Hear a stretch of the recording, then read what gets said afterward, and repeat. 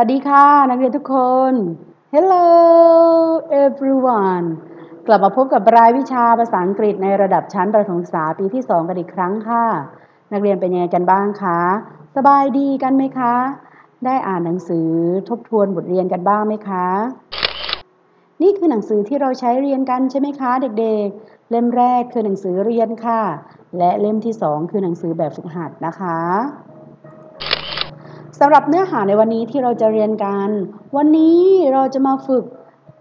ประโยคคำถามแล้วก็คำตอบนะคะ ว่าสมาชิกแต่ละคนเนี่ยอยู่ที่ห้องอะไรกันบ้างนะคะ อยู่ที่ห้องนี้ไหม เดี๋ยวเรามาดูกันนะคะว่าเราจะถามและตอบยังไงค่ะ เนื้อหาที่เราเรียนกันจะยังอยู่ในยูนิตที่ 2 นะคะ at home ให้นักเรียนเปิดหนังสือเรียนควบคู่กันไปด้วยนะคะ เปิดหนังสือเรียนไปที่หน้าที่ 21 ค่ะ ใน exercise ที่ 3 นะคะ นักเรียนสังเกตที่รูปภาพนะคะว่าสมาชิกแต่ละคนเนี่ยอยู่ที่ห้องไหนกันบ้างนะคะ สังเกตที่รูปภาพได้เลยค่ะ ใน exercise ที่ 3 นะคะ และมาดู ประโยคตัวอย่างนะคะที่มีเด็กสองคนนะคะ เจนนี่กับทอมมี่เนี่ยเขาถามแล้วก็เขาตอบกันนะคะ มาดูที่คำถามแรกกันค่ะ เจนนี่จะเป็นคนถามนะคะ แล้วก็ทอมมี่เนี่ยจะเป็นคนตอบค่ะ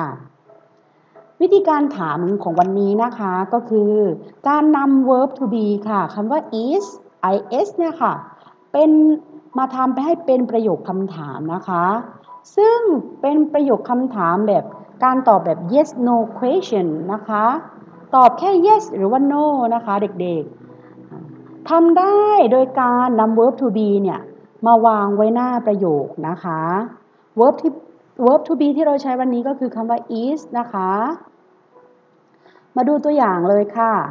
เจนี่ถามประโยคแรกนะคะ เจนี่ถามว่า is mom in the bedroom is mom in the bedroom แม่เนี่ยอยู่ในห้องนอนใช่ไหมนะคะ แม่อยู่ในห้องนอนใช่ไหมนะคะนักเรียนสังเกตที่รูปภาพเลยค่ะ แม่อยู่ในห้องนอนไหมคะทอมมี่ตอบเลยค่ะว่า no she isn't no she isn't ไม่เธอไม่ได้อยู่ในห้องนอนนะคะทอมมี่ตอบปฏิเสธใช่ไหมคะ เด็กๆ ทีนี้เจนนี่ถามต่อเลยค่ะ ถามถึงแม่เหมือนเดิมนะคะ ทีนี้ถามว่า is mom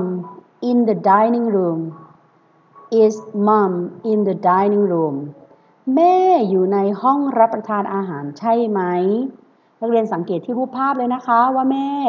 เนี่ยอยู่ในห้องรับประทานอาหารหรือเปล่านะคะคำตอบของทอมมี่ก็คือ yes she is yes she is ใช่ เธออยู่ในห้องรับประทานอาหารนะคะ ทีนี้ครูมีตัวอย่างประโยคเพิ่มเติมมาให้นักเรียนได้เรียนรู้กันนะคะ โดยการสังเกตในรูปภาพในหนังสือเรียนของเรานะคะ หน้าที่ 21 เหมือนเดิมค่ะ เหมือนข้อที่1นนะคะเหมือนเจนนี่พูดเมื่อกี้เลยค่ะ เจนนี่ถามว่า is mom in the bedroom is mom in the bedroom ครูทบทวนอีกครั้งนึงนะคะ คำตอบก็คือ no she isn't no she isn't นะคะคำตอบก็คือ ไม่เธอไม่ได้อยู่ในห้องนอนนะคะครูใช้คำสรรพนามที่แทนแม่เนี่ย ก็คือคำว่า she นะคะเด็กๆ ต่อไปมาดูคำถามของเจนนี่คำถามที่สองกันค่ะ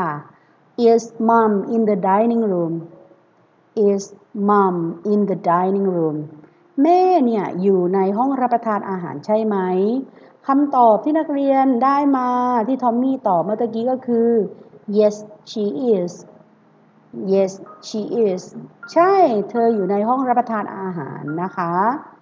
ต่อไปมาดูตัวอย่างประโยคคำถามในข้อที่ 3 กันค่ะ is grandpa in the bathroom is grandpa in the bathroom คุณปู่อยู่ในห้องน้ำใช่ไหมนักเรียนดูที่รูปภาพสิคะว่าคุณปู่เนี่ยหรือว่าคุณตาเนี่ยอยู่ในห้องน้ำใช่ไหมคำตอบก็คือ yes he is yes he is ใช่เขาอยู่ในห้องน้ำใช่ไหมคะ ครูใช้คำสรรพนามแทนคุณปู่คุณตาว่า he นะคะ he he นะคะเด็กๆ ต่อไปมาดูตัวอย่างประโยคในข้อที่ 4 ค่ะ ครูถามต่อนะคะ is my sister in the kitchen is my sister in the kitchen my sister ก็คือน้องสาวหรือว่าพี่สาวของฉันนะคะ อยู่ในห้องครัวใช่ไหมคำตอบก็คือ no she isn't no she isn't น้องสาวของฉันเนี่ยไม่ได้อยู่ในห้องครัวนะคะ เธอนอนหลับอยู่ในห้องนอนนะคะเด็กๆ ต่อไปมาดูตัวอย่างประโยคในข้อที่ 5 ค่ะ Is my brother in the dining room Is my brother in the dining room พี่ชายหรือว่าน้องชายของฉันเนี่ยอยู่ในห้อง รับประทานอาหารใช่ไหม นักเรียนสังเกตที่รูปภาพเลยค่ะ ใช่ไม่ใช่คะเด็กๆคำตอบก็คือ no he isn't no he isn't เขาไม่ได้อยู่ในห้องรับประทานอาหารนะคะ ต่อไปมาดูคำถามในข้อที่ 6 ค่ะ is Tommy in the kitchen is Tommy in the kitchen ทอมมี่อยู่ในห้องครัวใช่ไหม ทอมมี่ก็คือเด็กผู้ชายใส่แว่นนะคะ ผมสีออกแดงๆนะคะ ส้มๆนะ คำตอบก็คือ yes he is yes he is ใช่ใช่ไหมคะ ทอมมี่อยู่ในห้องครัวนะคะเด็กๆ มาดูคำถามในข้อที่ 7 ค่ะ is Jenny in the kitchen is Jenny in the kitchen เจนนี่อยู่ในห้องครัวใช่ไหม คำตอบก็คือ yes she is yes she is ใช่เธออยู่ในห้องครัวนะคะ เจนนี่กับทอมมี่เนี่ยอยู่ในห้องครัวอยู่ด้วยกันนะคะเด็กๆ ทีนี้มาดูวิธีการตอบค่ะ ถ้าเป็นผู้หญิงนะคะ ตอบ yes ตอบรับตอบคำว่าใช่เนี่ย ก็คือ yes she is yes she is หรือว่าถ้าตอบปฏิเสธนะคะเขาถามคำถามมาเราตอบปฏิเสธ เราตอบได้เลยค่ะว่า no she isn't no she isn't isn't ย่อมาจากคำว่า is not นะคะเด็กๆ she เป็นคำสรรพนามนะคะที่ใช้แทนคำนามที่เป็นผู้หญิงคนเดียวนะคะเด็กๆ she s h e ต่อไปค่ะ มาดูวิธีการตอบนะคะสำหรับผู้ชายคนเดียวค่ะ ตอบใช่นะคะ yes he is ถ้าไม่ใช่ก็คือ no he isn't ใช้คำสรรพนามคำว่า he นะคะ แทนผู้ชายนะคะ เด็กๆคนเดียวค่ะ isn't ย่อมาจาก is not นะคะ หลังจากที่เรา เรียนจบกันไปแล้วนะคะครูมีการบ้านให้นักเรียนทำในหนังสือแบบฝึกหัดหน้าที่ 23 ข้อที่ 11 ค่ะ ให้นักเรียนจับคู่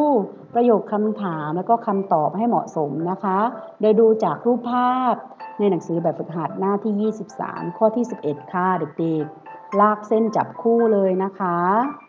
หลังจากนั้นให้นักเรียนส่งการบ้านมาในรายส่วนตัวของครูค่ะ และหากมีข้อสงสัยในรายวิชาภาษาอังกฤษชั้นป .2 สอบถามครูมาได้เลยนะคะ ในรายส่วนตัวค่ะ หลังจากที่เราเรียนจบกันไปแล้วค่ะ